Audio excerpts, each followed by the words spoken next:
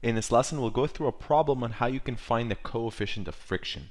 The question reads, a 50 kilogram sled is pulled along a surface of constant velocity by a constant force of 200 newtons at an angle of 30 degrees. What is the coefficient of friction between the sled and the surface? Let's begin this problem by drawing a free body diagram. So let's represent the sled as this square, and there's a force of 200 newtons being pulled from, let's say, the center of gravity, and this vector represents 200 newtons, and the angle in which this vector makes with the horizontal is 30 degrees.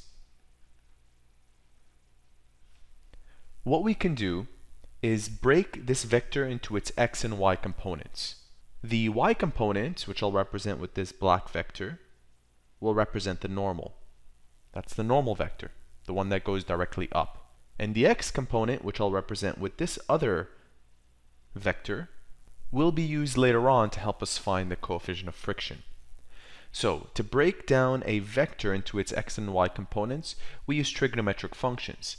For example, if we want to find this one, that is the adjacent relative to this angle. We have the hypotenuse, adjacent and hypotenuse is cosine. So cosine theta is equal to the adjacent length over the hypotenuse.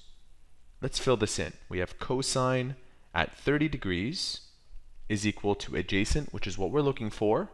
That's the horizontal force. So I'll just represent it as ADJ for adjacent, and that is our hypotenuse as 200.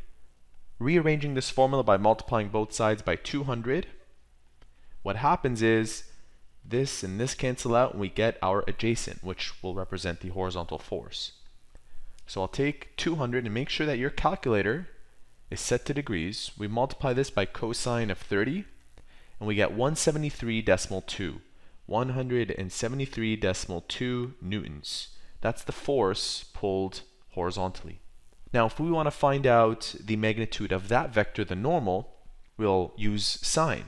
So I have sine theta is equal to opposite over hypotenuse. And in case you're curious as to why I use sine, this vector can be drawn over here if you like. And if we use trigonometric functions, that's the opposite length relative to this angle. So filling this in, we have sine 30 is equal to opposite, that normal force, over the hypotenuse of 200, multiplying both sides by 200. Let's see what we get. 200 times sine of 30, and that is equal to 100 newtons. So there is a vertical force of 100 newtons, and adding this vector and that vector up gives us this red one. Now furthermore, we will be using Newton's second law to see the force due to gravity directly downwards.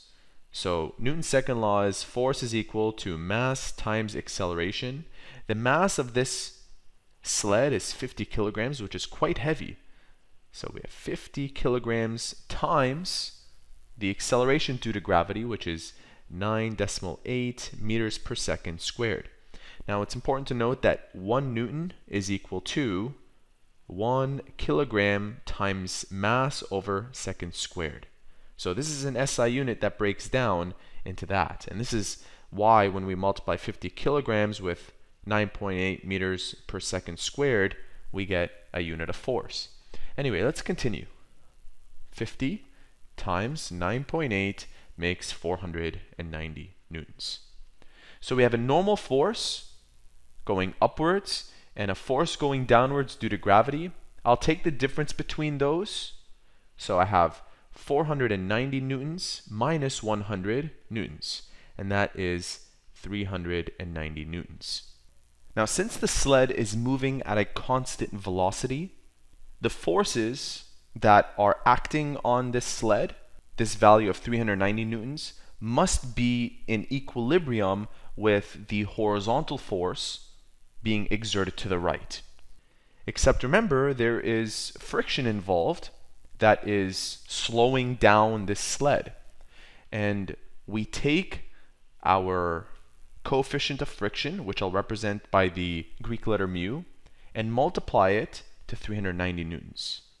So mu times 390 should equal to the horizontal component which we found. Now I'm just going to ignore this n just so that we don't run into any confusion. And we want to solve for mu. By dividing both sides by 390, the 390s cancel out and we're left with the coefficient of friction. So 173.2 divided by 390 gives us a coefficient of friction of 0.44. And this doesn't have any units, so just leave it as 0.44. And there you have it. That is how to find the coefficient of friction in a generic force problem.